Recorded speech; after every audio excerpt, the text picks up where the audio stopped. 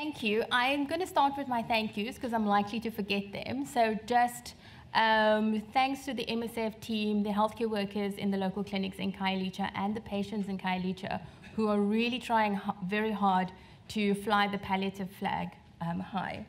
And so this morning we're going to talk about palliative care within the drug-resistant TB program. And really the question is, why would we even want to talk about palliative care? But the realities that we're facing um, is that drug-resistant TB remains a major source of mortality and morbidity. And in South Africa, treatment is successful in only about half of our patients. And the Khayelitsha, let's see if the pointer works.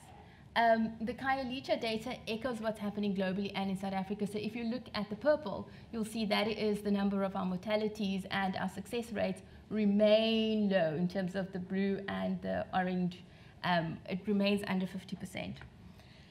So why should we bother with palliative care? Because in our traditional view, we give everything we can at the beginning of um, a patient's treatment journey. So we are going to go for new drugs, better regimens, um, shorter periods, the best adherence you can find, because if all doesn't work out, we can just refer this patient for palliative management at the end.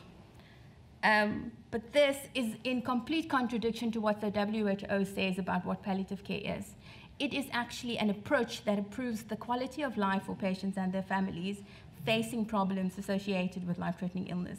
And the method is basically prevention and relief of suffering, and really good assessment and treatment of symptoms like pain, coughing, other problems. And we look at the patient from a physical, psychosocial, and spiritual perspective.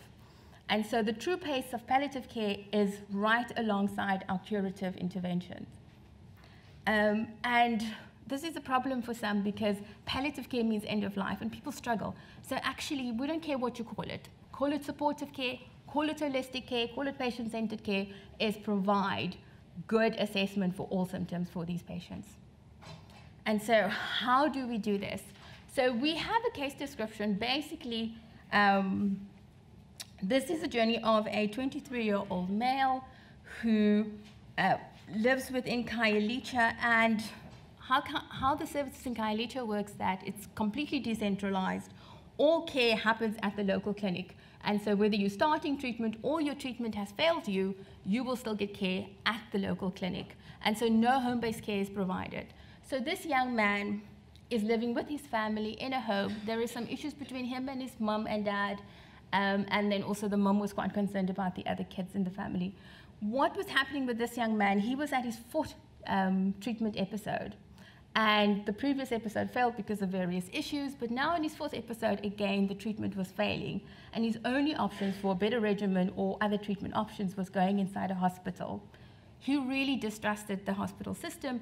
And he, when we spoke to him, he basically says, I refuse all care.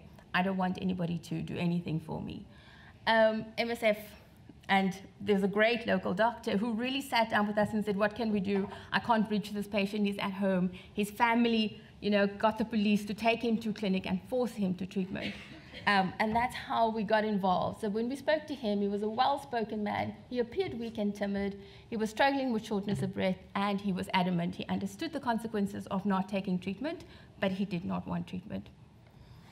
Okay, so we did a needs assessment, and really, from a physical perspective, he had shortness of breath, coughing, pain, and we provided him with uh, morphine at home.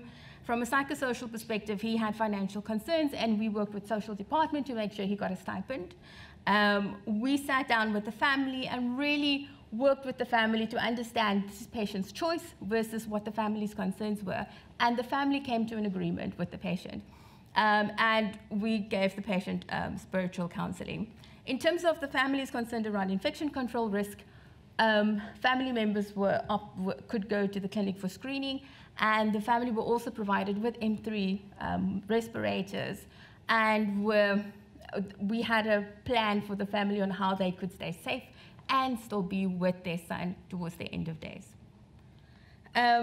And so we tried to stick through with the four ethical um, principles of ethics, and really the patient had autonomy, the patient could um, choose what he wanted for his treatment. Um, beneficence, the medical team acted in the best interest of the patient, but the family as well. So both were listened to. non-maleficence, first do no harm. We ensured that the environment was safe for the family that it was in, and justice. Despite the patient's refusal of drug-resistant TB care, he was not refused care. And so, conclusions and takeaway message in this case in terms of palliative care is that palliative care is an essential with drug-resistant TB treatment ma um, management. And palliative care policies and implementation plans really require resources. Something needs to be done in the home. Um, partnership with social and legal agencies, home-based nursing and counseling services, and access to palliative care medicine. Thank you.